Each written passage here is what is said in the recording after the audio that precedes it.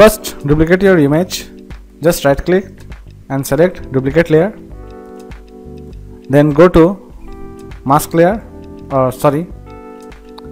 First go to filter and select liquify and click on forward warp tool and simply stretch your image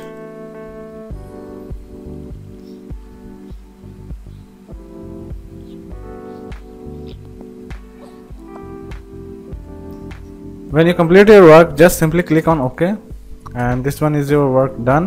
Then go take mask layer and go to paint bucket tool make foreground color black and simply drop this.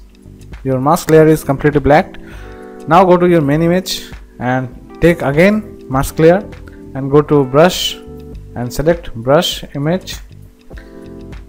Brush and simply apply this. Resize your brush by clicking in this area and apply this.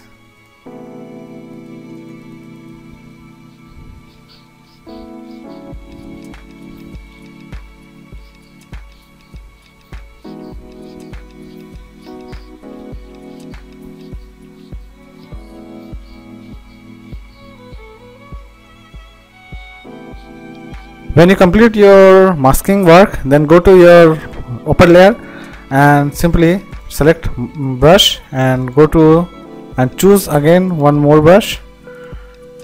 This is your brush and resize your brush.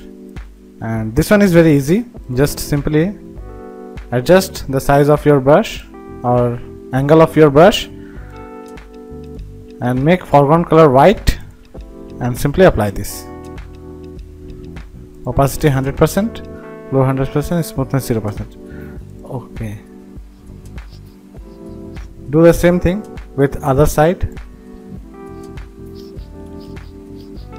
Now your work is done. You can add more extra color for your to your work and this is depend on you so hope you like this tutorial. If you like this tutorial please subscribe my channel. Okay. Goodbye. See you soon with new tutorial